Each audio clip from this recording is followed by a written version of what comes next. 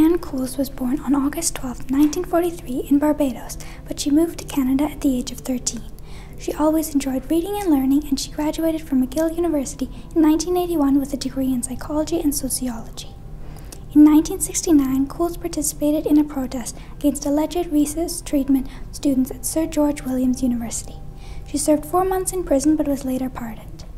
In 1974, Cools restarted and directed Women in Transition Incorporation, one of Canada's first shelters for victims of domestic violence.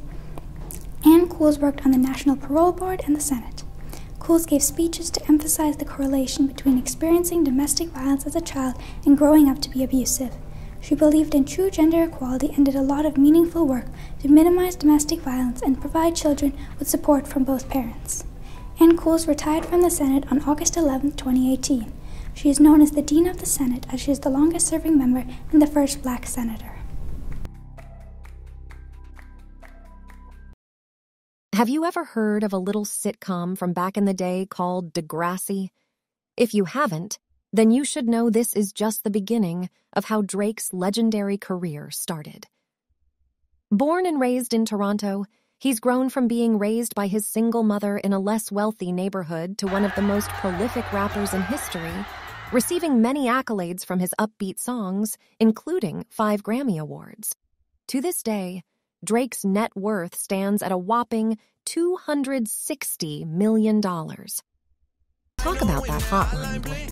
He did a lot of popular songs that resonate around the world, such as In My Feelings, Hotline Bling, and God's plan. Not only are his music videos perfect, but he even demonstrates kindness and humility through his donations. He even donated lots of money to those less fortunate in his God's Plan music video. And don't forget, he did two collabs with one of the greatest celebrated artists this world has ever seen the one and only Rihanna. If you can sing next to someone who shines, you must be pretty on key.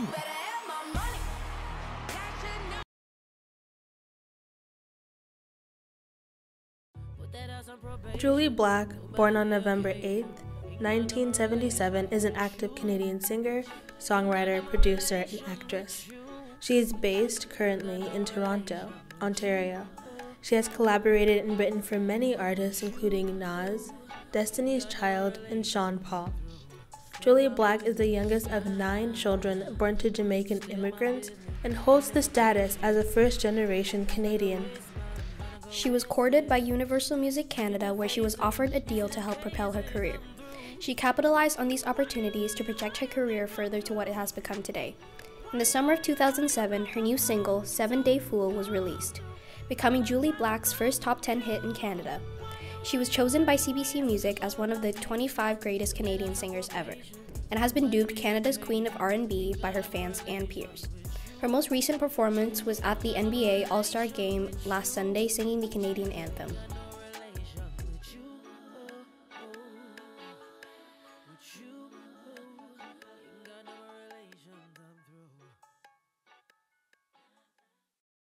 Malcolm Gladwell was raised in Elmira, Ontario, into an academic family. His mother was a psychotherapist and his father was a mathematics professor at Waterloo. Gladwell was recognized from early on as an ambitious and single-minded boy. His father allowed him to roam the offices at the University of Waterloo, which built his interest in academics and reading.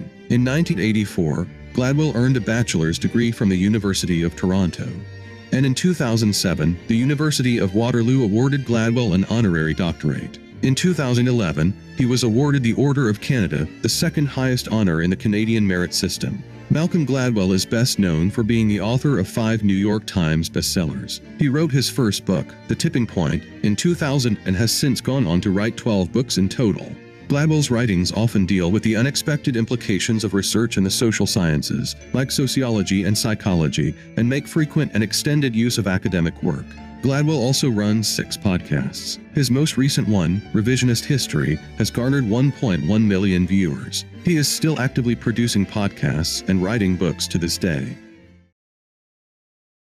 Nelson Mandela was one of the most prominent figures in South African history. He's widely recognized for leading the fight to free his people from the apartheid system, serving as the president from 1994 to 1999. Mandela was raised in a small African village and studied at the University of Witwatersrand. When the apartheid system was instituted in 1948, Mandela campaigned for the better treatment of his people.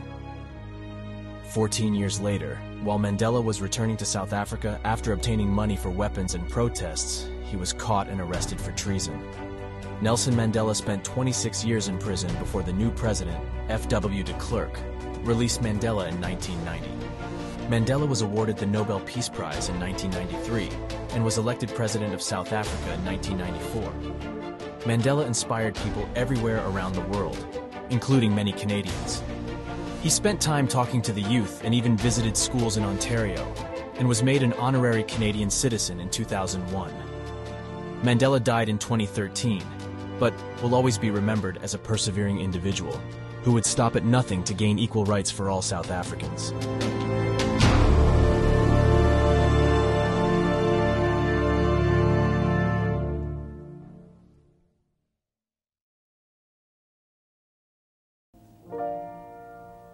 Oscar Peterson was a black Canadian born in 1922 and passed away in 2007. He is regarded as one of the most talented and influential jazz pianists. He was well known for his speed and dexterity on the keys and was admired by many. He, as well as his love for music, grew up in Little Burgundy, Montreal. He started playing piano at five years old, even though his family knew they couldn't afford it. They kept pushing him to practice twice as hard. Oscar had been battling tuberculosis and had finally fought it off by the time he'd found his love for jazz music. His performance career really kicked off in high school when he was playing in the Johnny Holmes Orchestra. After a while, Oscar Peterson decided the orchestra wasn't for him and he went on to start his own trio. Oscar Peterson has won some of the most prestigious awards in Canada, he has won the Order of Canada, the National Order of Quebec, and the Order of Ontario. These are some of the highest awards a citizen can obtain in Canada. He has done concerts worldwide and has won many Grammy Awards. He will go down in history as one of the greatest jazz musicians ever